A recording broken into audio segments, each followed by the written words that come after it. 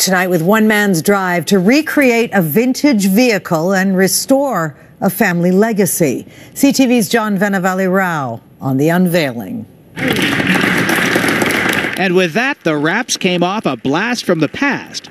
Automotive enthusiasts gathered at a Burlington car club getting their first look at the Fossmobile, a replica of a car that was driving around on Canadian streets long before Henry Ford built his famous Model T. If you ask a lot of people, sort of who built the first car, whether you say Canada or not, a lot of people go right to Ford.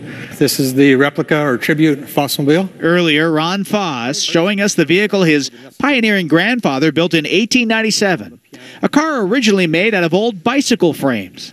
It was the first in the country to successfully run on a gas engine, an accomplishment nearly forgotten. I felt my grandfather deserved the recognition, and I felt Canadians needed to know.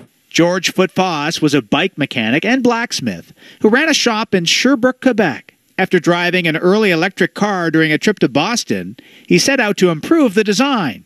He figured he could go further using gas. And soon enough, he was driving around, apparently scaring children. Some people, I think, thought he was demonized in some way because it looks like a buggy running down the streets with no horse. Foot sold the car in 1902 for $75, and the one off was never seen again. So, enlisting the help of local tradespeople, Ron Foss set out to make a copy. There were no blueprints, so it was reverse engineered using photos.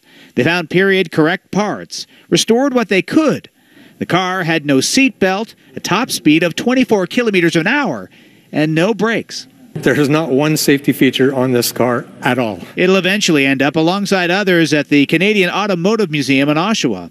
But first, we'll head for Sherbrooke to mark the 125th anniversary of that first drive. John Vennavally Rouse, CTV News, Burlington.